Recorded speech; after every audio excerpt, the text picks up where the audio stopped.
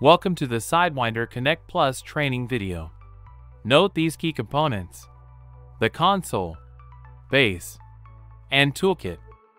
On the side of the machine, there is an emergency stop and on the back there's a power cable and communication cable. On the front of the machine, we have the shavings tray, the shield, the cutter, tracer, tracer knob, U-jaw, jaw track, and jaw release screw. This is the machine console.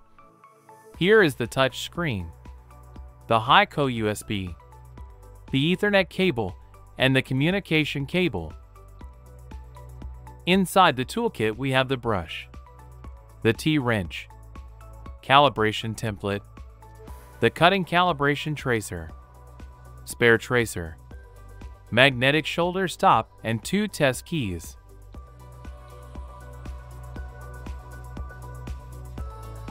The U-jaw has six lines, U0 through U5. These lines are used to roughly gauge where the tip of the key should be inserted. The machine will read the tip position when it starts to decode and cut. There is a channel at the front of the jaw behind the clamp for the shoulder stop.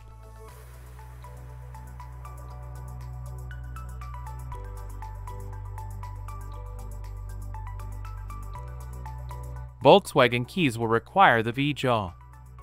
To cut a key using the V-jaw, you'll need to remove the U-jaw by loosening the jaw release screw and sliding out the U-jaw. Then sliding in the V-jaw all the way to the left. Then tightening the jaw release screw. On the V-jaw you have a tip stop to engage and disengage depending on the key. Also, there is a shoulder stop at the clamp head.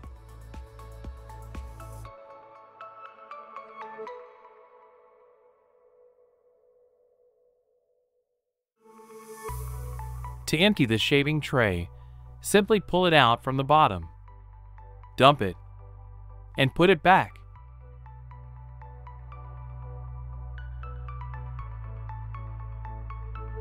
To power off the machine, press in the emergency stop all the way until it clicks. To turn it back on, rotate the emergency stop clockwise. To boot the console into maintenance mode, simply unplug the Hy-Ko USB on the side and power off the machine by hitting the emergency stop.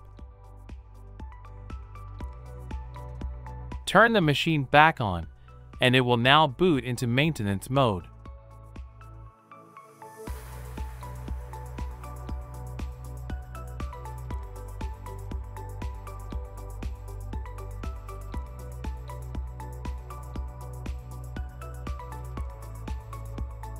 Once the console has logged in, simply click Administrator and click Next.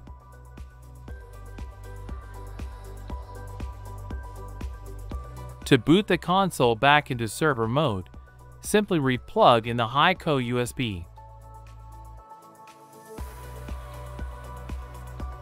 Power off the machine by the emergency stop, and then power it back on. When booting the Sidewinder Konnect Plus into server mode, make sure the shield is closed.